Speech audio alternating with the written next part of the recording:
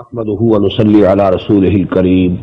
أما بعد، فأعوذ بالله من الشيطان الرجيم. بسم الله الرحمن الرحيم.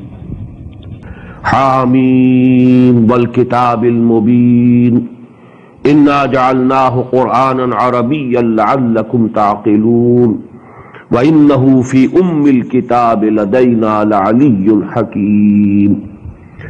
وقال تبارك وتعالى كما ورد في سورة الواقعة إنه لقرآن كريم في كتاب مكنون لا يمسه إلا المطهرون تنزيل من رب العالمين وقال عز وجل كما ورد في سورة القيامة لا تحرك به لسانك لتعجل به إن علينا جمعه وقرآنه فإذا قرأناه فاتبع قرآنه ثم إن علينا بيانه. صدق الله العظيم. رب اشرح لي صدري ويسر لي أمري واحلل عقدة من لساني يفقه قولي. اللهم ربنا ألهمنا رشدنا واعذنا من شرور أنفسنا. اللهم أرنا الحق حقا وارزقنا اتباعه، وأرنا الباطل باطلا وارزقنا اجتنابه. اللهم وفقنا لما تحب وترضى. آمين يا رب العالمين Dear brothers and sisters in Islam, Assalamu alaikum wa rahmatullahi wa barakatuh. With the name of Allah and invoking His blessings and help, we are starting our month-long program of a rapid translation of the whole of the Quran and a brief explanation along with. As I told you couple of days before in my Sunday lecture was this place, we shall be holding inshallah four sessions of one hour each every night. For today, the first hour I am taking, I'll try in half an hour to finish with some introduction, some basic and fundamental facts and figures about Quran Hakim, and then about half an hour for Surah Al-Fatiha, and then in the second hour, inshallah, we shall start with Surah Al-Baqarah. About Quran, first of all, we all believe that Quran is the word of Allah. Al-Quranu Kalamullah. It's the speech of Allah, word of Allah. And it is protected and preserved. Its protection and preservation is guaranteed by Allah Himself. Number two, the real and original Quran is with Allah. What we have in our hands is so to say the tested copy of that real Quran. That real Quran is in Lahi Mahfuz. بل هو قرآن مجيد في لوح محفوظ At another place, as I have recited the ayat from Surah Al-Waqiyah, fi kitabim maknoon, the hidden book. This is Quran Kareem, and it is in the hidden book, fi kitabim maknoon, la yamassuhu illa al-mutahharun. And from there it was sent down to Muhammad sallallahu alayhi wa sallam. So actually the real Quran is there. That is why I have recited the first four ayat of Surah Al-Zukhruf, Hamim wal Kitab al-Mubin. By this book, which is very clear, it is expressive of all its meanings. Inna ja'alnahu Qur'anan Arabiyyan la'allakum taqilun. And we have made it a Quran in Arabic language so that you can understand. And here actually the addressees are the Arabs who were the first addressees of Quran. I'll discuss this point later on inshallah.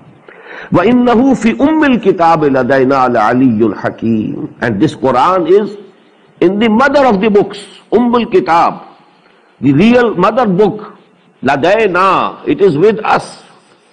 Al-Aliyyul Hakim, and this book is exalted and full of wisdom. So the real Quran is with Allah subhanahu wa ta'ala. فی لوح محفوظ، فی کتاب مکنون، فی ام الکتاب لدینا۔ اینڈ دیز آر ایکچولی دی اٹیسٹڈ کاپیز آف دی قرآن دیٹ از ان لوح محفوظ فرام دیئر اٹ واز سینڈ ڈاؤن اینڈ دس کمنگ ڈاؤن آف دی قرآن واز ان ٹو اسٹیجز نمبر ون ان ون نائٹ round about the year 610 of the Christian era, one night of the month of Ramadan, that is Laylatul Qadr, the whole of the Quran, from the Lawh Mahfuz and from the Ummul Kitab, as I've told you, it was sent down to the first heaven. Actually, the lowest heaven from the divine side. But from our side, it's the first heaven. The whole of this Quran was sent ان دیٹ نائٹ لیلت القدر انا انزلناہ فی لیلت القدر وما ادراک ما لیلت القدر لیلت القدر خیر من الف شہر تنزل الملائکت والروح فیہا بیزن ربهم من کل عمر سلام ہی حتی مطلع فجر and this لیلت القدر was in the month of Ramadan. That is why we have just listened in the prayer also in the first rakat of, surat, of, of Salatul Isha This Shahr Ramadan alladhi unzila fihi al-Quran. هدى للناس وبينات من الهدى والفرقان. For this first coming down of the Quran, the verb that is used in Quran is anzalna. Anzala yunzilu inzalan because this means one piece suddenly sending down something something at one time one piece so the whole of the quran was sent down from that law mahfuz from that kitabum maknoon from that ummil kitab to the first heaven now that is second stage was that from there it was sent down to the heart of muhammad sallallahu alaihi wasallam through archangel jibril alayhi salatu wasalam and it was bit by bit, ayah by ayah, surah by surah. And it took 22 long years in the complete revelation of the Quran to Muhammad sallallahu alayhi wasallam. And who was Muhammad sallallahu alayhi wasallam? We all believe he was the last prophet of Allah subhanahu wa ta'ala. But here I want to mention, he was from the progeny of Ibrahim alayhi salatu wasalam through Ismail alayhi salatu wasalam. And you know the his tribe, Quraysh, that was that belonged to the progeny of Ibrahim and Ismail alayhi salatu wasalam and they were settled you know being Ummul Qura that is Makkah al-Mukarramah. So there actually that is the place where Muhammad sallallahu alaihi wasallam was born in the year 571 of Christian era. And when he was round about 40 years this revelation started to him in Ghar Hira in the cave of Hira. And that was the year 610 as far as we can assess and we can know. Now during these 22 years of the revelation of Quran, for about 12 years Muhammad stayed at Makkah. So the amount of Quran that was revealed during this period is called the Makki Quran, the surahs, Makki surahs, and it is round about two-thirds of the whole of the Quran. Then he migrated in the year 624, 622 to Medina Munawwara. And from thence till his death in 632, that is 10 years he stayed at Medina. But during these 10 years, he was making journeys for battles also. For you know, battle of Badr. Then he had to go even to Tabuk, that is near the border of Syria. He had to go to different parts of the Arabian desert. So actually during this whole period of 10 years, the surahs and ayat of Quran which were revealed to him, sallallahu alayhi wasallam, they are called the Madani surahs. Although all of them were not revealed at Medina properly.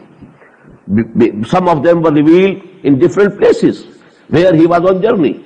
But you know, all that part of the Quran which was revealed during 10 years after Hijrah until his death, this is called the Madani Surahs or the Madani Quran. Now this division between Madani and Makki Surahs of Quran is nearly agreed upon. About most of the surahs it is agreed upon whether it is Makki or Madani.